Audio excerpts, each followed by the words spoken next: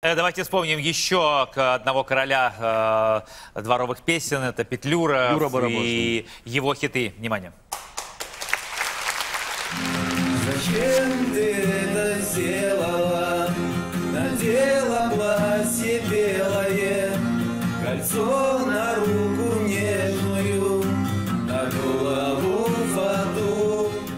После распада Союза во дворах большой страны зазвучали песни Юры Петлюры, родные и знакомые каждому. И хотя в лицо всенародно любимого исполнителя никто не знал, его песни узнавали с первых аккордов. Впервые молодого певца поклонники увидели в клипе на песню «Скорый поезд», который, увы, стал единственным в карьере артиста. Скорый поезд,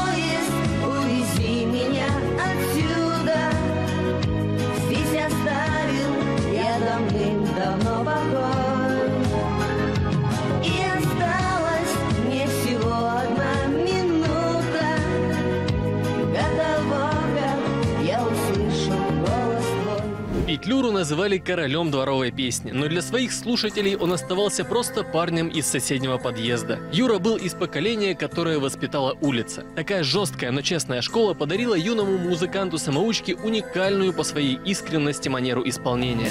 Год проходит день за днем. Ночь за ночью пролетает.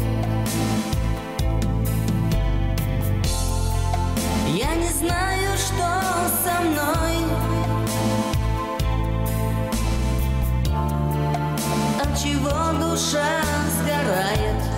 Петлюра оставался верен дворовой песне, которая сделала его знаменитым на всю страну. И хотя в 90-е из моды вышли вечерние посиделки под гитару, в памяти поклонников остались те песни, которые он когда-то пел. Ведь Юрий исполнял не только свои авторские тексты, но и давал забытым мелодиям новую жизнь. Так было с песней «Бродяга», которая прозвучала в фильме «Пацаны». Когда ее исполнил Петлюра, она стала одной из самых популярных в репертуаре певца.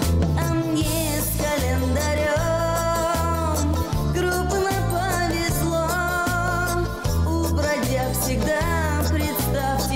красное число.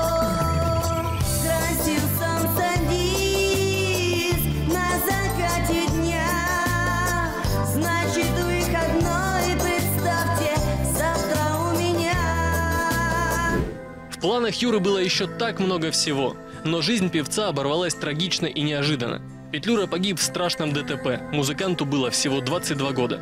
С тех пор прошло уже четверть века, но миллионы любителей дворовой песни и сейчас продолжают петь такие родные хиты Юрия Петлюры.